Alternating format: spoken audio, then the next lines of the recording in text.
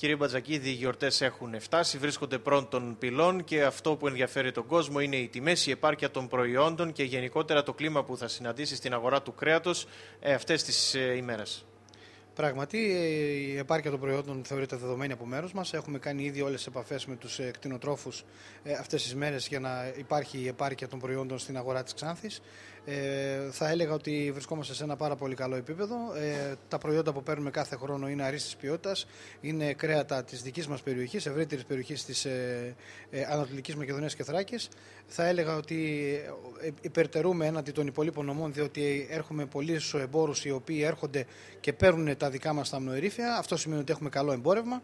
Έτσι λοιπόν και εμείς με τη σειρά μας ε, ευελπιστούμε ότι θα έχουμε καλές τιμές ε, σε σχέση με πέρσι, ίσως λίγο ανεβασμένο κατά τη, ε, διότι και η παραγωγή είναι αδικημένη αυτές τις μέρες, περιμένουν όλο αυτό το χρόνο για να πάρουν μια καλή τιμή εν ώψη των εορτών. Ε, θα έλεγα ότι και δικαίως ίσως, διότι απαιτεί πολύ σκόπος για να γίνει όλη αυτή η προσπάθεια, να μπορούν να μας έχουν έτοιμα τα μνοερήφια ε, για να εξυπηρετήσουμε και εμείς με τη σειρά μας τους καταναλωτές. Οι τιμές, σας είπα, θα ήθελα να, και εγώ ευελπιστώ να είναι στις ίδιες τιμές με πέρσι. Προσπαθούμε με όλους τους ε, συναδέλφους μιλάμε και λέμε να κρατηθούμε λίγο, διότι η κατάσταση είναι έκρηθμη.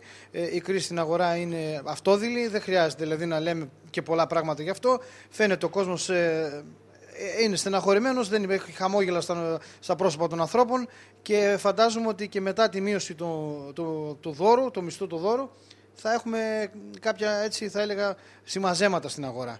Ε, ευελπιστώ ότι όλα θα πάνε καλά και ότι η αγορά θα κινηθεί όπως ε, κάθε χρόνο. Θα ήθελα επίσης να πω το εξής, ότι όπως κάθε χρόνο, έτσι και φέτος, ε, τηρούμε τις παραδόσεις ε, κατά την εορτή του Πάσχα ε, με το γνωστό κοκορέτσι που ετοιμάζουν τα κρεοπολία και τις γαρδούμπες φυσικά και τους τζιοροσαρμάδες που ετοιμάζουν οι γυναίκες. Ε, θα έλεγα ότι είναι ένα έθιμο το οποίο περιμένει ο κόσμος πώς και πώς για να το υλοποιήσει ε, και εμείς λοιπόν είμαστε έτοιμοι ε, παίρνοντας παραγγελίες από τους πελάτες μας να μπορούμε να τα απεξέλθουμε σε όλες αυτές τις ετοιμασίες.